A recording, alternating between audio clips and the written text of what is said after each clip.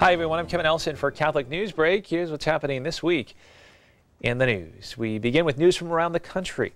According to Jesuit Father Gregory Waldrop, people are less inclined to decorate their homes with crucifixes today, but he says the graphic depiction of Jesus as the suffering man of sorrows still resonates artistically and religiously.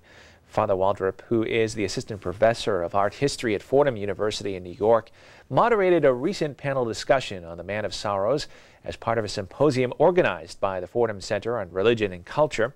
The symposium was in conjunction with a new exhibit at New York's Museum of Biblical Art called Passion in Venice, Crivelli to Tintoretto and Veronese. He said that the Man of Sorrows, which is a haunting image of Jesus dead but not yet resurrected, continues to attract and provoke. It also relates to current conditions of anguish, loss, and deprivation in the world. He said it still shows up in contemporary songs, popular images, and even as a theme in artworks by high-profile secular contemporary artists. The exhibit runs through June 12th at the museum in Manhattan. In news now from around the world, despite the post-tsunami chaos, parishioners of a Japanese Catholic church are delivering food aid to victims of the catastrophic quake and tsunami. Because of distribution difficulties, people have been forced to stand in line for three hours to buy bread, according to one of the parishioners of Kitasendai Catholic Church.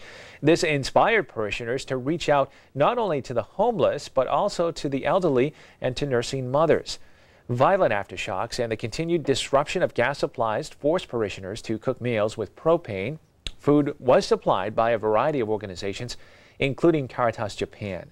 Dominican Father Raymond Latour is the pastor of Kitasendai and Haramachi Church in Minamisoma. He said those who remained in Minamisoma were forced to stay indoors because of how close they are to the Fukushima Daiichi nuclear plant. He said they are living on ramen noodles. The Sendai Diocese has 53 churches and eight mission stations. The Furukawa Church in Miyagi Prefecture and the Sukagawa Numato churches in Fukushima Prefecture have been so badly damaged they are unusable. Otherwise, damage to diocesan buildings was described as minimal. And finally in the news, women in South Dakota will be required to wait three days before receiving an abortion. Governor Dennis Daugaard signed a law March 22nd establishing the extended waiting period for all abortions.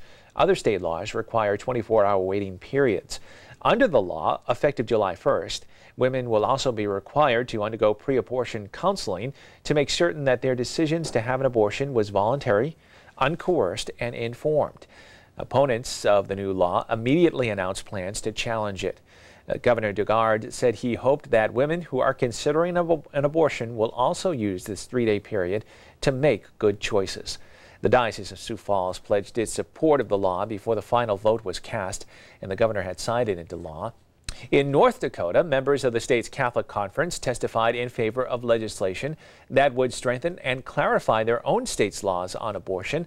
The conference noted that the most significant update in the legislation concerned the use of abortion-inducing drugs, requiring that a physician prescribe or provide the drug and be present when it is administered. And in New Hampshire, House members recently passed a bill requiring abortion providers to notify a parent or guardian 48 hours before performing an abortion on anyone younger than 18.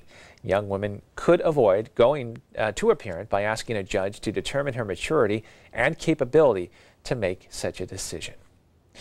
Well, that is all the information we have for you at this time. Please stay with Catholic TV for more Catholic news. Until then, I'm Kevin Nelson, and I'll see you next time on Catholic News Break.